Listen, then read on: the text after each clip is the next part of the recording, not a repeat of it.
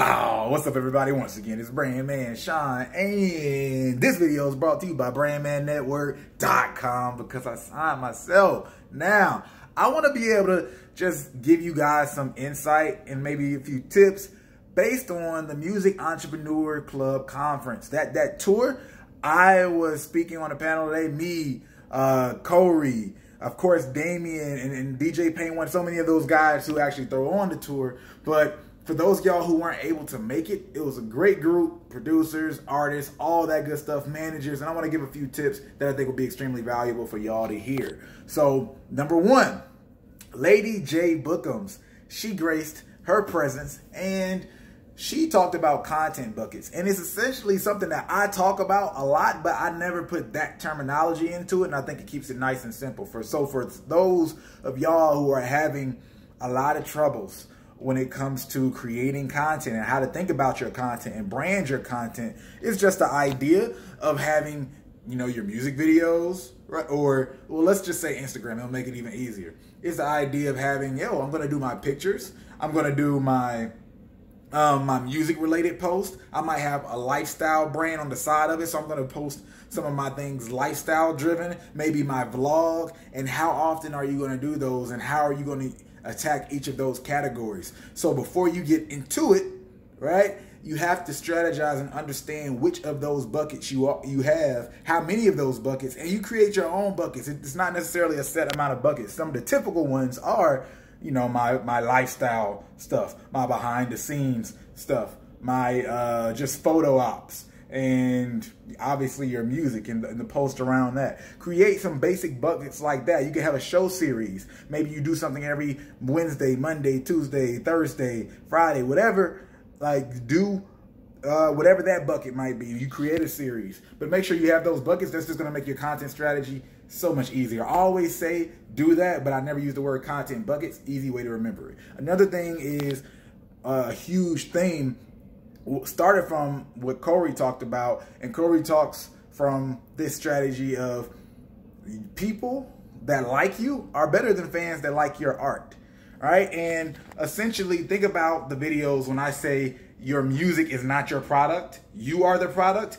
That's essentially what that's saying. You want to be the product. You don't want your music to be the product when we're talking about a long career. Why is that important? Because if people like your product and your product is your music, the moment your music is not right, the moment it's not lit, and everybody has their ups and downs, right? The moment it's not how people want it to be, then you're not getting that support. But if they like you, they're going to go with you through the ebbs and the flow because at the end of the day, they want you to win. Those are your most valuable fans. They're going to help you. They're going to transfer outside of probably music and, and get into other things, right? And if I only like your music, why would I necessarily want to do a meet and greet with you? I, if, if, I'm a fan that likes you for you or some of these things that you're interested in, their personality, then I'm probably going to want to meet you. So those are two of the main things, those content buckets and also that idea of having people like you and expressing and showing this that side to attract them to that part of your brand versus just your music.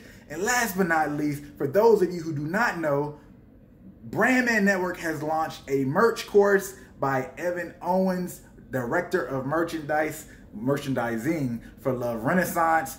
A lot of big artists I already know Love Renaissance. Some of you guys can look up LVRN on Google if y'all need to know. But he's a go-to guy for so many people in the industry. I mean, so many has dealt with merch into the millions, but that's coming from the ground up. He knows ground zero as well, started his own brand. There's nobody more knowledgeable really than this guy when it comes to the merch game. We launched a course, so Brandman Network members, y'all got that for free, man. It's, it's in there. Go check it out if y'all haven't haven't like y'all missed the emails or anything like that. And anybody else, man, join brandmannetwork.com. I mean, we, we're having a lot of success helping these artists when it comes to building their particular brand, not just some general advice, their specific brand, their specific marketing plan, having them walk through ads with them, right? Getting 8,000, 9,000 views at one cent, zero zero zero one cents. All of those things are happening with our artists right now in brandmannetwork.com. So that's just another thing that I got to make sure to, to, to, remind you guys. I'm not pushing it super heavy because I only want the artists who are willing to do the work at the time where we're just building. We're just building. We're just building. But keep that in mind for those of y'all looking forward to those of y'all who will join at some point. But bruh, If you are in the network and haven't checked out that merch course, you need to ASAP.